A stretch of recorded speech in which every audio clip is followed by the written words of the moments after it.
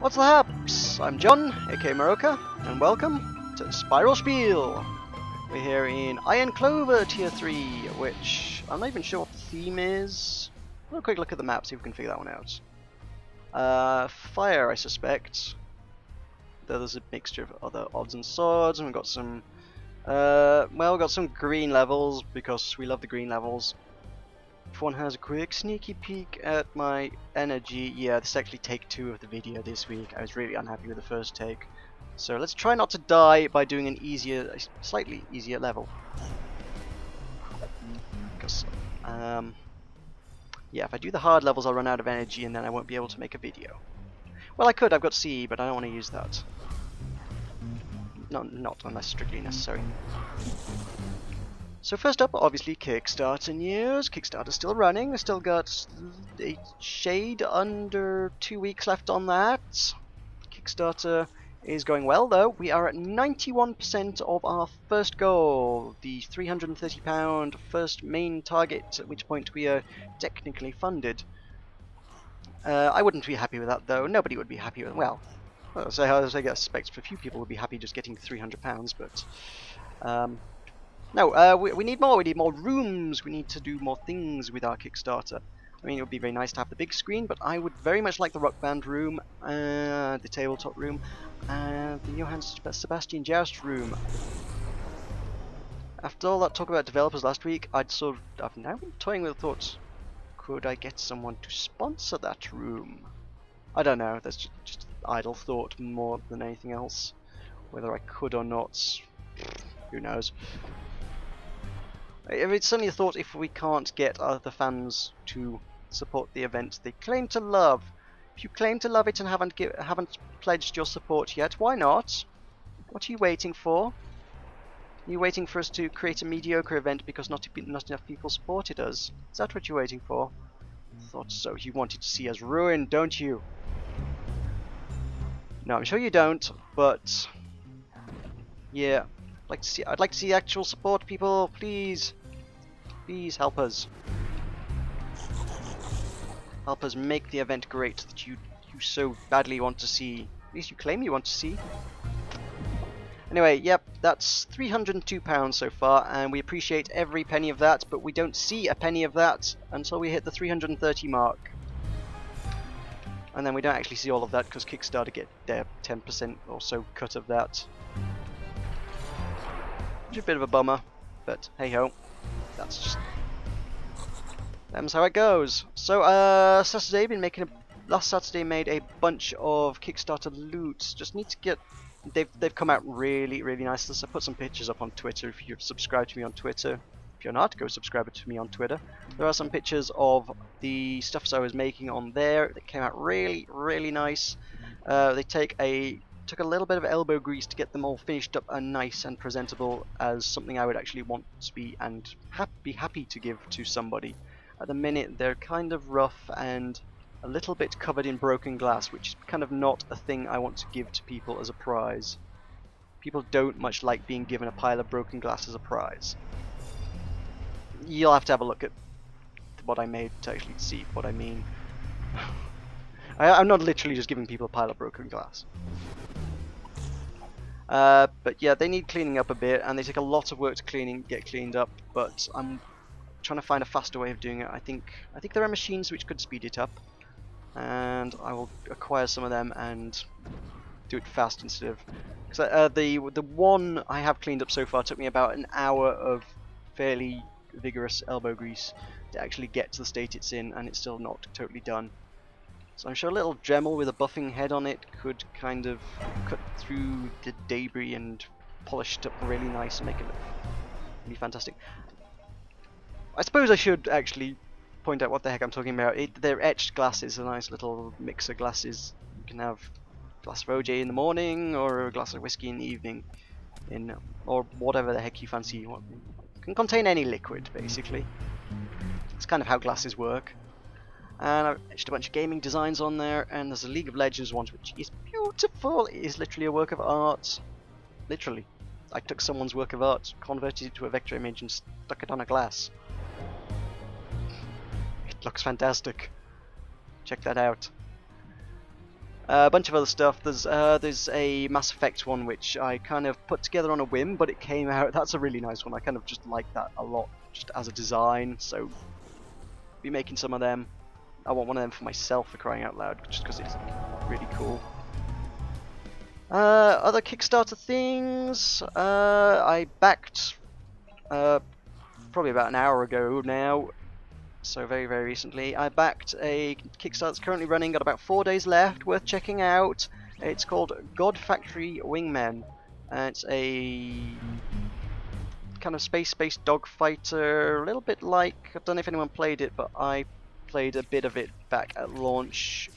Uh, Imba Entertainment's Moonbreakers, but theirs was a bit grindy and pay to win.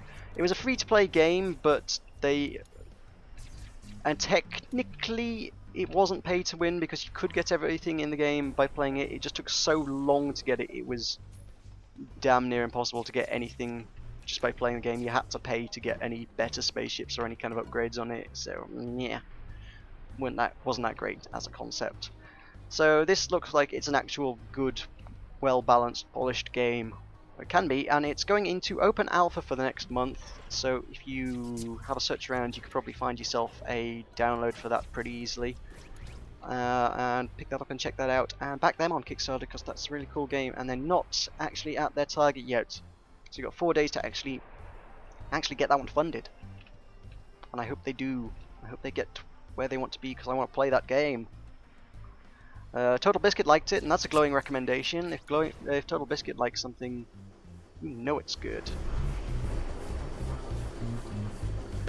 So, must be that time of the week again. It's Tuesday evening at time of recording, which means if you go check out the Spiral Knights Facebook page, that means they're putting up screenshots again, which means it must be time for Spiral Knights. I did that wrong.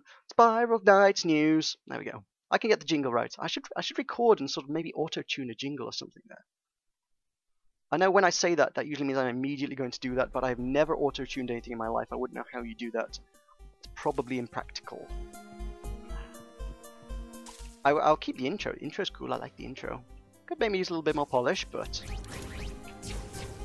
Anyhow, so Spiral Knights news. And obviously Battle Sprites upcoming. Second half of July is still the ETA on that. And we've got more screenshots. We got a screenshot of the Seraphynx in action. The Seraphynx presumably being a portmanteau of Seraph and Sphinx. Kind of a little angelic flying creature that shoots some holy looking laser at enemies, so it just flies around shoots lasers. And he's pretty cute. The one thing everyone joked about when they first announced Battle Sprites was, oh, they're making uh, Spiral Knights into Pokemon. And well, Seraphynx looks quite a lot like Mew, if I'm honest. I'm like, hang on. I know that was a joke, but it genuinely looks like they genuinely are making Pokemon. So, I, am keeping my fingers crossed for a Charizard. Seriously. I'm hoping they're going to add a Charizard to the game. Maybe Gyarados. Gyarados is cool as well. Yeah. I, I could go for those, those in Spiral Knights. So, screenshot of that in action, you can have a look at that. And that's more or less it. So yeah, as usual, ETA still second half of July. Keep an eye out for that. I will be doing an update video for that, as it seems to be a pretty notable major content update, and it will be worth checking out. I mean, I guess Dash was supposed to be a major content update, but I don't even remember to use it, so it wasn't major to me, I guess. So, on to other matters. A not a question I received, but a comment I received on one of my Feed the Beast videos, and it's sort of a sentiment I've heard before from comments and things and people talking on my videos, and it's kind of something I wanted to address because it kind of irks me a little bit. Uh, comment was, and while we've got a moment, no we haven't got a moment here, hang on, let me just smash these guys up, then I can have a moment to talk. It's a lengthy comment. Right, smashy smashy. Okay, so Sandwich555 says, I'm sorry for you, man. You're making so many videos and you're a good talker. You should have more views and subscribers. try making really short videos with funny content, or something like a troll song. That worked for a lot of people. You should open your mind a bit more, tell a story. Obviously a fake one, with you being Superman, dodging tennis balls and singing He-Man songs, just whatever's in your mind. Most absurd and ridiculous thing that you can think of. That's just my thoughts. Paraphrasing that a bit, it was a little bit more broken English, so perhaps that's not his first language. That's forgivable. It's, it's a big old internet out there. Um, and a little bit more colourful language actually, which I've toned down a bit because this is my channel and it's less colourful language than that. Hi guys, you want shooting. Uh, so why don't I make shorter videos that appeal to a wider audience? Uh, because because I don't. This is what I do. I am I, I am myself in my videos. I'm not putting on a putting on an act, not making making some oh spikes. This is not some silly show where I pretend to be a character or anything. This is me. This is my channel. I am who I am. I'm Popeye the Sailor Man. No, wait, no, I'm not. Um, bing. So, short content. Yes, it does work for a lot of people. Yes, everybody these days has ADD and can't watch a video that's longer than five minutes long. It's beyond that, people just turn off. I understand that, but I make principally the content I enjoy watching, and uh, there's no reason to not take that pill. So I shall. I make content that I enjoy watching.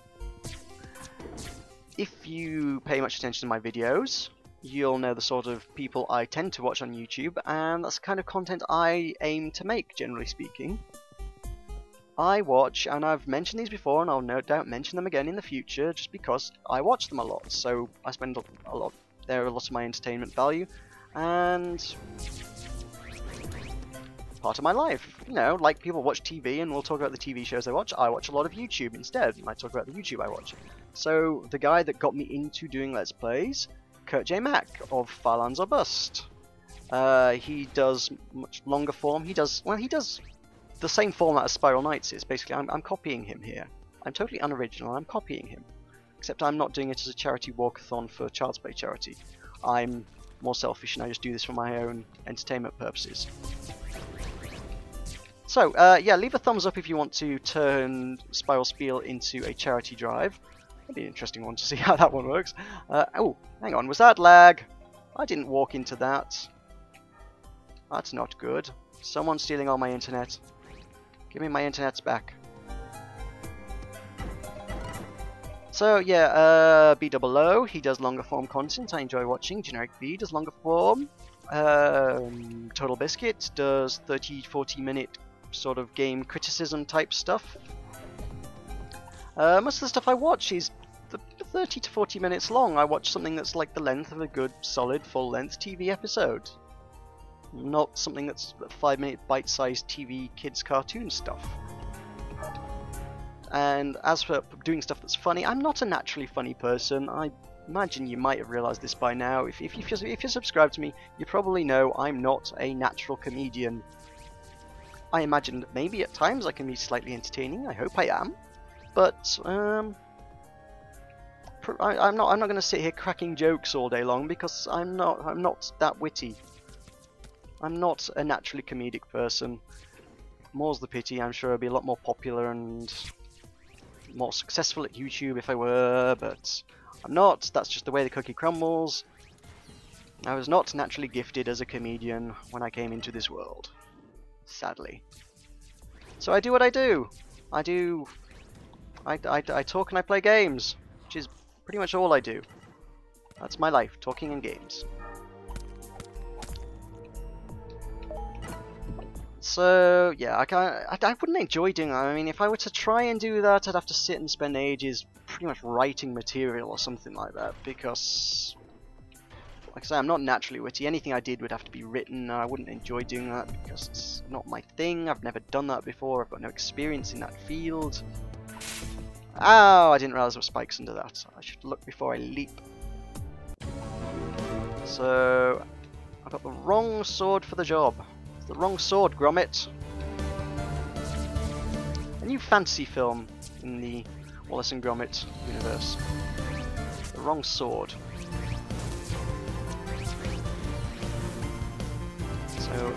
Oh, I got the right sword for you, haven't I? I can take you out. Bam. Ha. So I'm not I'm not going to come up with lots of random silly stuff. I don't make short. I don't feel like I can get much done in a short video. I know Yogscast is obviously hugely successful in just 15 minute videos, ish, and quite often you'll find that they'll just like record like an hour of content or something and split it up into four video, four 15 minute parts or something. You can tell because there's basically the videos, if you string them back to back, are for the most part fairly seamless. They'll just pick up where they left off. And there's no hello and welcome to the Yogscast. They just jump into it and start talking. At the, the end of the episode, just cuts off, and it's like, yes, obviously you just you recorded a lot more content and cut it up. And for the most part, that kind of content, I, for me, silly content, memes and silliness and short content, almost feels in many cases like pandering to lowest denominator. And I know, certainly in people who regard themselves as any kind of serious Let's Player doing kind this kind of content, a lot of them don't like, and I'm gonna I'm gonna throw out a name here which is going to be controversial because he's very very very popular, very very very successful. PewDiePie. PewDiePie. Anybody who is struggling to make it big in YouTube by making any kind of serious content, not by screaming and wailing and swearing and effing and blinding and generally offending people, doesn't like PewDiePie. And he's made it big by screaming and effing and blinding. And the general consensus is that his the main part of his audience tends to be on the younger side. This is a man who's appealing to kids by effing and blinding and making a general hysterical mess of himself. And it's horrible content. There's videos that do the rounds uh, somewhere. There's one out there at least that I know, probably multiple, which is adults watch PewDiePie, and there's just a montage of people cringing at his content. And it's like, oh my god, is this a real person? And, well, for the love of God, I hope not. I hope it's an act, but at the same time, it's an act which appeals to the lowest common denominator. It's garbage, and certainly not worth my time. If you, if you enjoy it, fine, by all means go ahead, watch his stuff, but it's not something I want to watch, and good lord, is it not something that I want to make, content-wise. So, that's, uh, that's my thoughts on on it's basically on um, junk food TV, I suppose. It's basically the best way I could describe that. I'm trying. I'm trying to make a healthy, wholesome meal here, and PewDiePie's making junk food. And you know, if you want to, I haven't. I had no sword for a moment there. That was weird. If you want to eat junk food, be my guest, but it's not. It's not going to do you any good. Whereas you might learn something if you watch me occasionally, once in a while. Not all the time, but sometimes. So yeah, okay. I, um, that's my little rant about the state of my channel and why I don't do what people tell me to because I might get more successful about it. Um, yes, it would be nice to be more successful, but I want to get successful doing what I do and doing it well, not by pandering to the lowest common denominator. If you do actually do uh, do enjoy my content and want me to get more views and subscribers because you think that's the sort of thing I deserve, the best way you could help me out instead of sort of telling me to do something different because surely if I did something different I wouldn't be making the content you allege to enjoy. That's the weirdest thing for me, is you say you enjoy my content but uh, tell me to make something different. Well, if I was making something different it wouldn't be the same content and you wouldn't enjoy it, surely. I would be essentially alienating my audience that I do have in the pursuit of an entirely different audience which enjoys an entirely different type of content. Uh, I don't see how that's that's, that's a really particularly good idea at all anyway. No, I'm not going to do that. Uh, on the on the changing up YouTube channels front though, uh, this interesting little bit of Google Analytics stuff that I found literally just before I started making this video, which is basically about gaming on YouTube and statistics and demographics and things and um, peak viewing times actually. It turns out that most people watch gaming content at 8 p.m. by and large, Now, I don't, know, whether it would make a tremendous difference, but my videos tend to go out at 7 pm. And that's 7 pm GMT as well. Um, have I gone this way? Which what's this way? Is this where I started? Can't remember now. Nope, it's stuffs. So I'm wondering if maybe, just maybe, I should change the time that my videos go out. If I did it... I don't know, which time zone is the most successful? I like to think Eastern time, but I don't know. If I were to do it at 8 p.m. GMT minus 5, would that be better time to get more views? That's the sort of thing I can do to change up my channel without actually changing the format, which that's, that's stuff I don't mind. I, I don't mind that in the slightest. That's good con. That's a good way to run a channel. Not by pandering. Pandering is bad, okay? Unless you're a panda. You're allowed to pander if you're a panda. That, that's basically the extent of my humour, by the way. Terrible, terrible, awful jokes and puns put together in spur of the moment. Don't get any better than this, folks. Don't get any better than this. So, right, where, where, where was I? Um, yeah, the, I'm going to read through that and see what I can make out of that channel, uh, out of that data, and see if I can find ways to improve my channel out of that. That seems like good bit of information for me to try and use to my advantage. So maybe look for changes in the channel like that in the near future. I don't know whether I'm going to make any sweeping changes, but I'm always on the lookout for things to improve things. Improving things is good, but pandering's bad. So, other notable news, now that I've finally finished my little rant about my channel. Uh, in the gaming news, last Tuesday saw the launch of the Ouya, which brings us, incidentally, neatly back into Kickstarter a little bit. See, it's, it's, it's all themed, it's all neatly themed. Unfortunately, I can't actually title this episode Kickstarter because I've already got one titled Kickstarter, which, oh, I just ruined it for myself. So you Kickstarter heavy episode inadvertently without actually being able to be called Kickstarter. I don't know I'm going to maybe I'll title it Ouya. So Ouya was uh, funded on Kickstarter, a sort of Android-based gaming console with a very heavy indie focus. And I didn't back it on Kickstarter, I didn't get the early access or anything like that. I didn't even particularly pay much attention to it until the last week after it launched. And it was Ben Kuchera of the Penny Arcade Report wrote a bunch of articles on it. And he was quite compelling. It, he sold it very nicely to me. Basically, the comparisons he made were not of any kind of killer apps. There's nothing on there that will make you go, ooh, I need to buy this right here and now. There's nothing like that on there but it's more like if you have any experience with such things, browsing the Xbox Live indie game store. Uh, Xbox Live. Is that is it, the indie game store? Is indie marketplace? I think is what it's called. Yeah.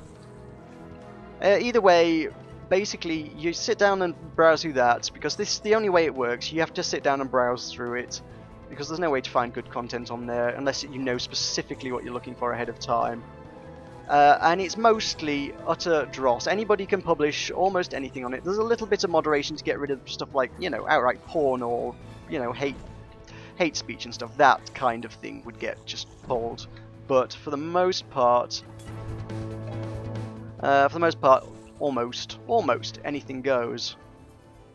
And there's a lot of dross, there's a lot of stuff that doesn't really work. There's uh, something found the other week was a game about my cat was literally the title of the game. The game included a section which were screenshot, uh, not screenshots, uh, photographs of the game maker's cat. Um, and the game involved a picture of a cat snowboarding down a hill trying to pull off as many stunts as possible to score as many points as possible to get a high score, and then by getting a high score, you unlocked more pictures of the cat. And then there was a page with the description of the cat that the person wrote, in which, and this is the best bit of the game, they describe it as my second favourite pet. It's the second favourite, it's not even their favourite pet. They didn't love their pet enough, their most favourite pet, to make a game about it. They made a game about their second favourite pet. That's hilarious. Oh wow! So there's a lot of stuff like that on there, and it's awful. And I don't expect the Ouya to be tremendously better. The first thing I played was a game called Muffin Knight, which looked good. I know why it looked good. I can figure I could figure that out very very quickly. It looked good because it was a mobile title that had been ported, and very obviously so. It was a crummy free-to-play title that was just heavy monetization. And basically what it was was they'd they basically cloned Vlambeer's uh, Super Crate box, which is free to play on Steam, so you can go check that out now. And he's basically just made a game that is free to play. There's no monetization, nothing going on there, nothing evil, nothing nasty, nothing horrible. It's just here's a game, it's free, pick it up, play it. A little arcadey shooter kind of title, absolutely hard as nails. I detest it because it's look Terry Cavanagh makes games which are harder nails. He made Super Hexagon. He made VVVVVV. I don't know how many v how many V's did I say? Probably not enough. Have a few more V's. VVV. So yeah, VVVVVV and Super Hexagon are tough, but doable. Super Crate Box is horrifyingly tough and not very practically doable. The challenge is like to score 10 points and that's nigh on impossible.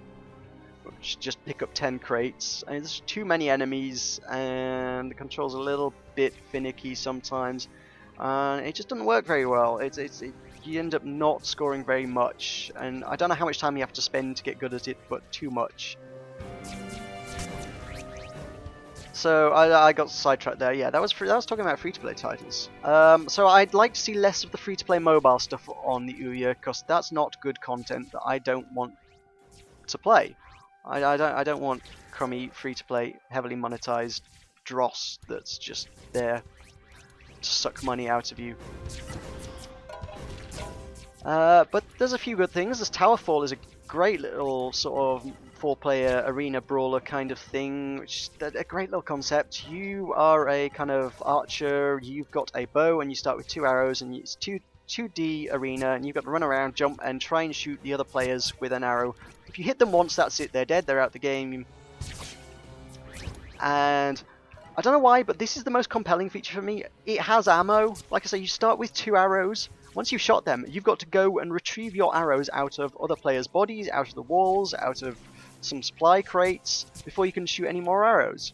You start the game, you got two shots, you miss with those two shots, suddenly you're already running away trying to re uh, reacquire ammo to do it. And it's much better dynamic than if you're just running around just trying to shoot each other. The ammo thing just makes it much more compelling. I don't know why, it just works. It's great. Good little tile. So I'll probably be picking that one up. Uh, some other stuff in there. There was a good little dog fighter. I forget, I forget what it's called. Uh, but it reminded me of very much of a sort of very cartoony kind of Rogue Squadron-like title. That's good in my book. That was no good at it. I'm not great at dogfighters. Don't know why I did back God Factory Wingmen to be honest, but um, hey ho, they're fun. I like uh, dogfighters are fun, even if I'm not really that great at them. I like flying. I'm no good at it. Like many things in life. I like Spiral Knights. I'm no good at it, but I like it. So, yeah. So, uh, Ouya's got a lot of other compelling features because I, I, didn't realize at first, but um, as as the weekend approached, and I was like, should I buy it? Should I buy it? Should I buy it? Shouldn't I buy it?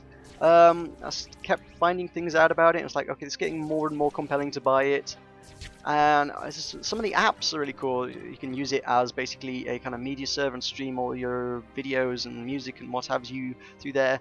And a very good selling point for me was that you can use it as a remote desktop for your Windows PC. You can literally pick up your console because it is tiny, it's about 3 inches big, put it in your bag, take it somewhere else, and then play your PC games through your Ouya wherever you are is my theory here. I don't know what latency is like as far as that goes. I imagine obviously you've got all your control inputs then got to go through the internet, but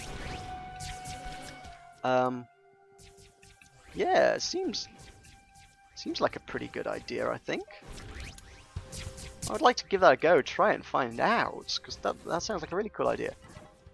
something I now need to buy, I feel. I feel like I should probably look at getting a semi-decent capture card for the PC so that I can actually record Ouya content because I would like to start making Ouya videos because I feel like maybe there is a niche for that at this point in time. It's out, it's not been out more than a week. There can't be a lot of people making good content for it just yet.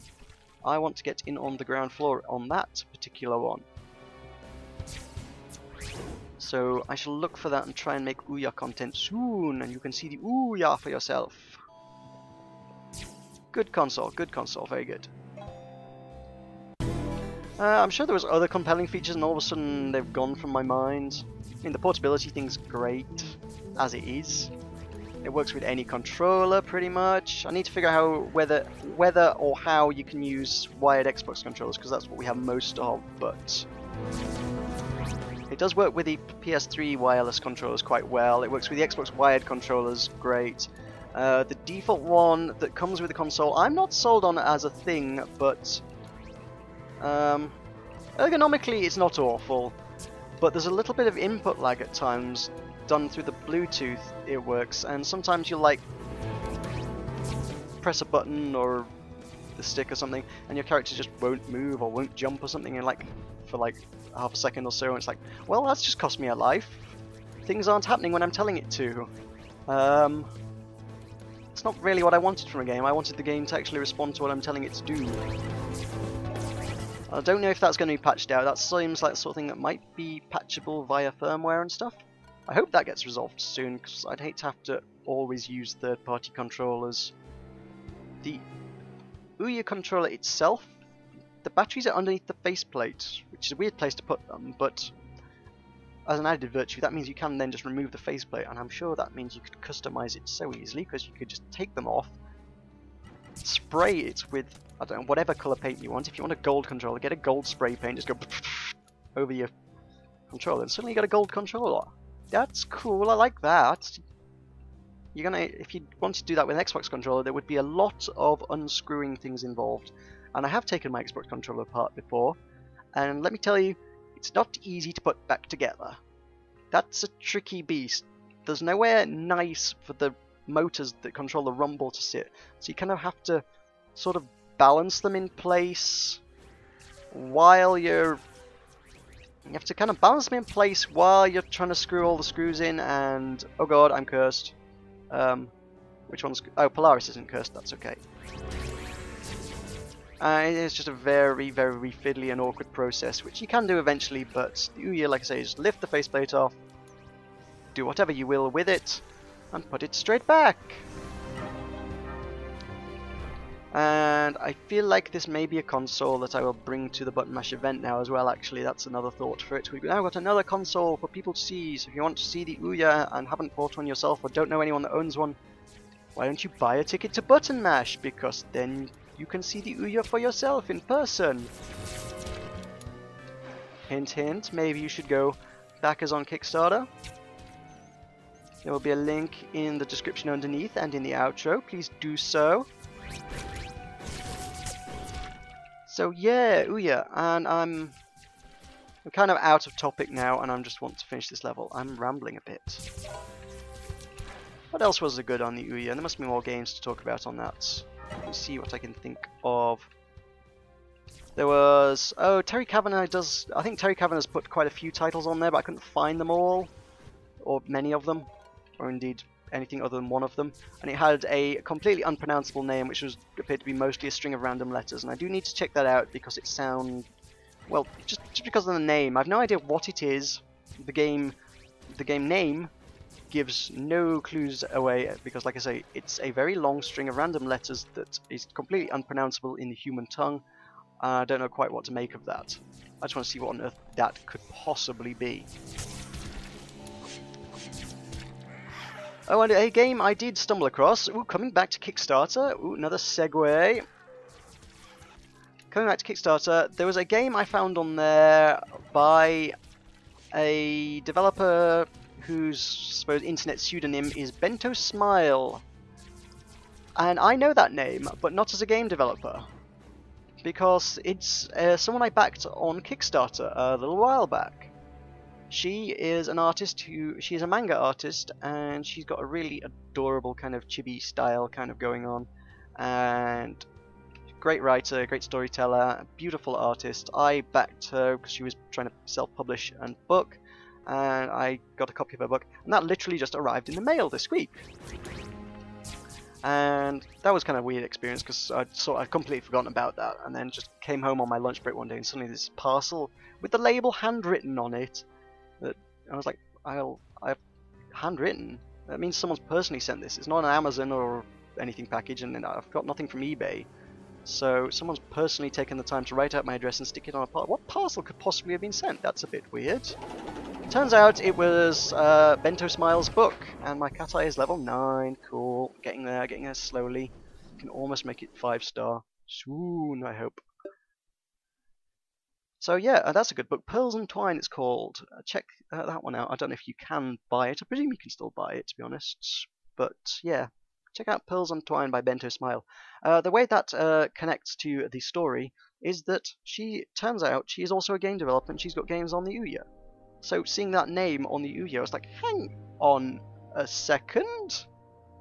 We talk about small world and all that. I literally just got her book in the mail this week, and suddenly I'm finding games on the console that I also just bought this week. That's just a really weird coincidence, and kind of cool.